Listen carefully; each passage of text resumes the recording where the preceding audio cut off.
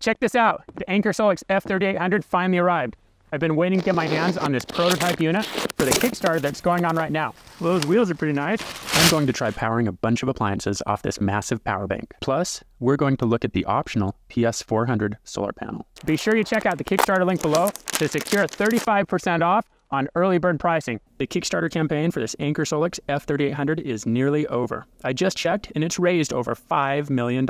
If you've been thinking about getting this massive Anker Solix portable power station to replace your gas generator, Time is running out. Please use the link in the description below to find a Kickstarter campaign. I really appreciate it. This looks like something that's going to help you out in your home, your RV, or any other situation where you need a massive power bank. I'd like to thank Anker Solix for the opportunity to work with them on this video. Let's check out what this Anker Solix F3800 can do.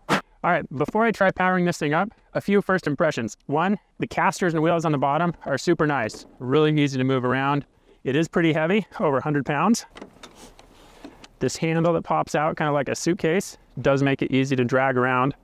All right, taking a look at the panel here. We've got a car DC adapter or cigarette lighter. Looks like it powered on there. We've got three USB-C ports, charging phones, things like that. A couple USB-A ports. Looks like you can turn the display on or off right here. Here's the main power button. Coming to the side, this is of course your main hub. We've got a couple 240 volt outlets, 620 volt outlets. Each of these are 20 amp maximum. It looks like there's some overcharge protection so you can reset things if it overpowers. Sun's coming out on me. That'll be great for solar charging. Speaking of solar charging, here's the two ports where you'd plug the solar panels in. This is the home power port. With the optional home power panel, you can achieve AC coupling for your electrical system. This is where we plug into a standard 120 volt outlet so that we can charge the F3800 batteries from the grid. And down here, if I want a daisy chain expansion pack, so I can expand this from 3.8 kilowatt hour unit up to about 54 kilowatt hours at full capacity, this is where you start plugging those expansion batteries in. Let's see how this thing is power on for the first time. I'm curious how much charge it has. One of the things I'm looking forward to with it, this Anker Solix is how easy it'll be to fire up and get going for the first time. Here we go, powered on for the first time. See it is at 22% already. So it came shipped with partial charge. Because it's autumn where I live, I've got to blow the sprinkler system out to keep it from freezing over the winter. Let's see what happens when I plug this air compressor in and try to run it off this massive power bank from Anker Solix. I've got to power on this panel. There, we got power. 24% battery charge. Let's see what happens when we run this air compressor. So the display shows me something's plugged in. Looks like it's drawn between 1300 and 1400 watts while it runs. The air compressor fired up no problem at all. The sprinklers are blowing out. Pretty simple and easy. I noticed there's a little indication that something's plugged in and running off the F3800. I see the control panel also predicts how much time I have remaining, about half an hour based on what I'm using the power bank for currently. Okay, we're down to about 5% remaining, the battery charge. It does say 0.1 hours, so that's uh, six minutes. So this thing should be stopping any minute now. Sprinklers continue to drain. We're down to 2% on the battery. This thing should be shutting off any minute now. Oh, there we go. It's flashing at 1%. We heard the air compressor kick off once the battery was drained. Let's get this thing charging back up. I'm sure glad Anker Solix put this easy tow handle onto the massive power bank. It makes it super easy to move around. With the battery fully drained, let's plug this in and get it charging. Now the power station is fully charged. Let's try running some home appliances with it. Now the washing machine should have power. Oh, so there we go. Okay, let's turn this on and let's see what happens when this fires up. Washing machine spinning, it's using very little power, 35 watts. I hear water kicking into it right now, so it's filling up with some water. See this bouncing around, 23 watts, jumps up to 115. Our time remaining is also fluctuating based on the amount of power being drawn. So we'll let this thing run and see what happens. Since I don't have a home inlet box and transfer switch, let's just see what happens if I start plugging various appliances into this and running the battery. We're running about 175 watts as this washing machine is running, operating currently. I'm gonna plug this extension cord in and let's go get some kitchen appliances plugged in as well. To add some more power, I'm gonna plug the microwave in to the Anker Solix F3800 and turn it on, and see what happens. We've got lots going on in my house today. We're also making grape juice from the grapevine today, but that doesn't have anything to do with this power bank. So let's see what the power output is on this microwave.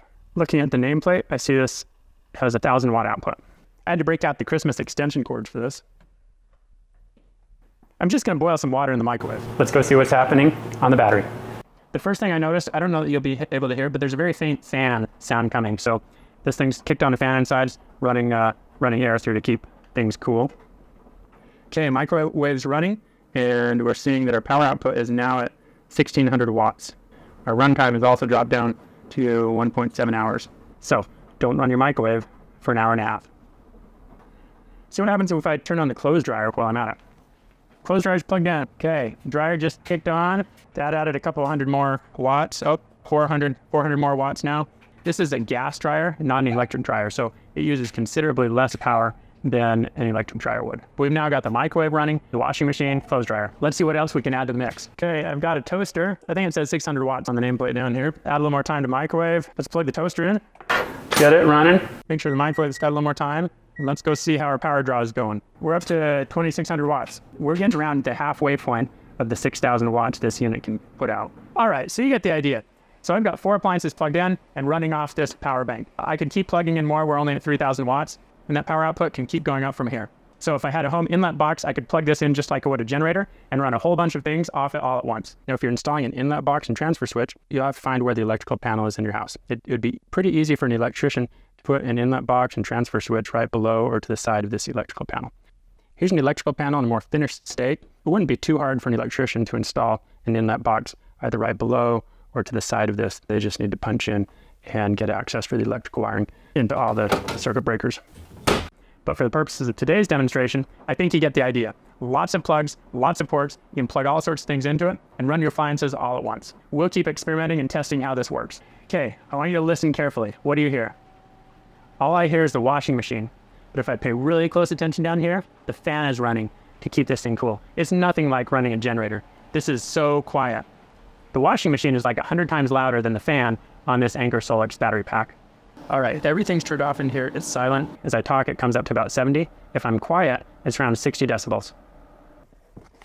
Let's try charging the battery with solar panels. As you can tell by these very long shadows, the sun is low in the sky.